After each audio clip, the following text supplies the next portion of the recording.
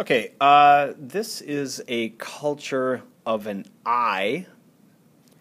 Um, so normally this type of culture would be set up on chocolate, sheep blood, MacConkey's, and a CNA, but it didn't get uh, set up on CNA. Uh, for this particular culture type, this is kind of would, would be considered almost like a wound. Uh, and since it's an ear, we could even consider it a superficial type culture. And what that means is that we could expect that there you know, could be uh, some normal flora in here because in the collection process of, of an eye or an ear, something like that, um, we could pick up some normal flora. So just uh, you know, thinking about the pathogens that we have to worry about on this type of culture, uh, you know, Staph aureus uh, seems to pop up in a lot of different culture sites. Uh, and it does here as well. We would also have to worry about Streptococcus pyogenes, Streptococcus pneumoniae, members of Enterobacteriaceae, possibly even Pseudomonas. So uh, let's go ahead and take a look here and see what we have on our chocolate plate. Okay, so you know, chocolate is a is a, an enriched uh, media, so we would expect that basically everything that of the pathogens is going to grow on this plate, the pathogens that I listed, and it looks like to me that there's just one colony type. Now let's go over and take a look at the sheep blood here.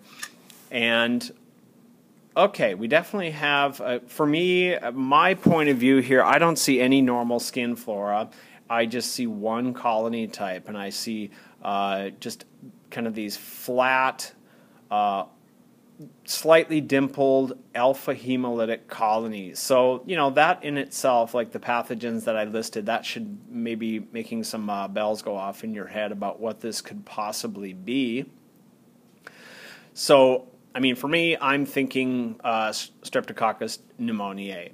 So just one thing I want to point out here is you can see how this is green and alpha hemolytic, and oftentimes students, uh, especially at the beginning in microbiology, in my microbiology lab, um, they see elf, this greenishness on the chocolate, and it is the same organism. These are the same colonies that are over here on the sheep blood plate, but we don't call uh, these colonies alpha hemolytic, even though they are green, because you know chocolate agar really is blood agar that has been boiled in order to lyse all the red cells. So even though it's green, we don't say that we have alpha hemolytic colonies on a chocolate plate.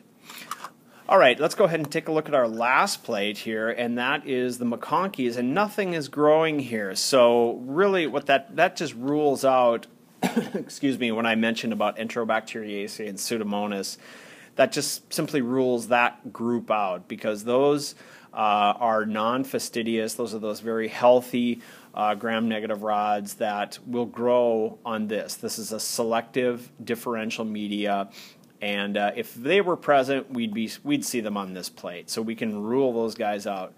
So what are we going to do at this point? Now, as in all these videos, I'm not going to talk about the actual workup, but we're definitely going to do something with the organism that we have here on this sheep blood on the sheep blood and chocolate plate.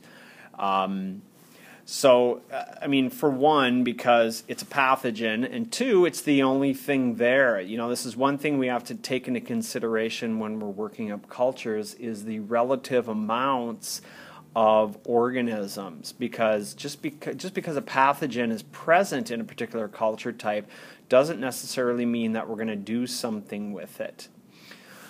Okay, so I'm going to go ahead and send out a preliminary report on this just to give the doctor a little bit of information, kind of a heads up of what's going on. So, you know, when we're evaluating how much, we have few, uh, sorry, rare, few, moderate, and many. And I don't really see too many, I mean, a couple here in the many zone, but I, I see it more as moderate.